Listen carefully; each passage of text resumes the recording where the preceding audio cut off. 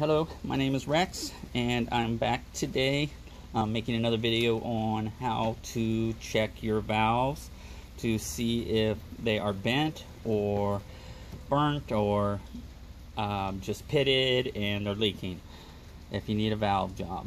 Anyway, I watched a couple videos the other day, um, and everyone I watched, uh, the head was popped up this way, and people were filling the um, combustion chamber with uh, water or brake fluid, and they were like blowing air through here and looking for bubbles and stuff like that. I didn't see any the way that I do it. It's fast, it's easy, and it only takes a second.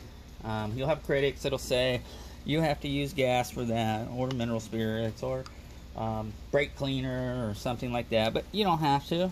All you have to do is take plain faucet water and you pour it right into the ports. Now, if you were to fill this with water, then you wouldn't know exactly which valve it is. If it's just barely seeping or or uh, it just leaks real slow, you, you wouldn't know which one it was. This way you know exactly which valve it is. This valve, that port.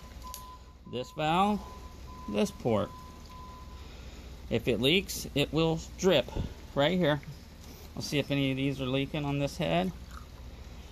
I started doing a, a, valve job on this particular head the other day. I did a couple of the intakes. I just lapped them in.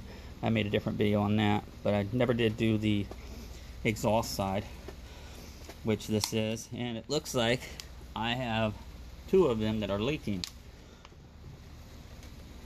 This one here doesn't look to be leaking, and neither does this first one here.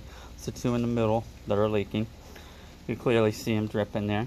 So these two valves here, I will take off and I will lap them in, grind them down and grind the seats and the valves and put them back together and it'll be fine. So anyway, if you need to know how to check to see if your valves are leaking or you had a compression problem in that cylinder, uh, that's the way you can check your valves. So anyway, again, my name is Rex and please subscribe if you haven't and uh, there'll be more to follow. So again, thank you. And if you have any questions, please leave a comment and I will check it. Bye bye.